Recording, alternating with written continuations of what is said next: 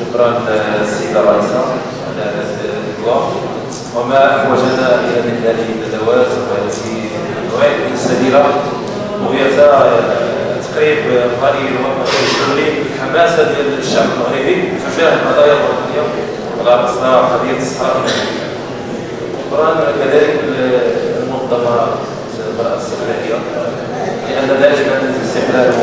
دائما وطني بالنسبة مداخلتي هي العلاقة بين تربط المغرب والجزائر هي دائما علاقة سلوى وجوار بمعنى أن الخصم ديالنا في القضية هي الجزائر.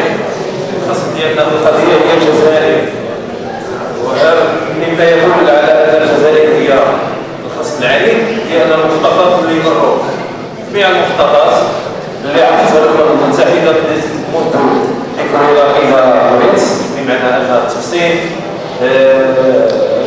الذاتي استفتاء هذه كلها مخططات لكن باءت بالفشل.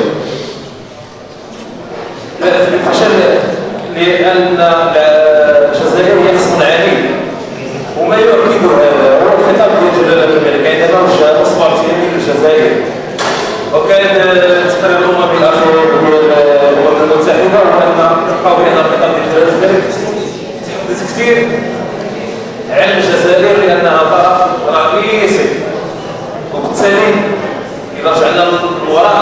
بان المغرب والحكمه جلالة الملك التبصر ديالو والعوده ديالو البيت الافريقي عندها دلالات كبيره على أن المغرب يدافع عن القضية الوطنية من داخل البيت الافريقي بعد ما كان خرج من 1988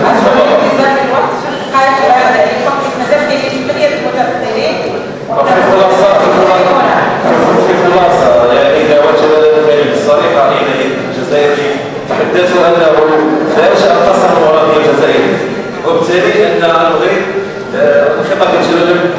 قالوا انه يعود الشركة تكسير العلاقات الدبلوماسيه الجزائريه وحفظ يعني باش تعود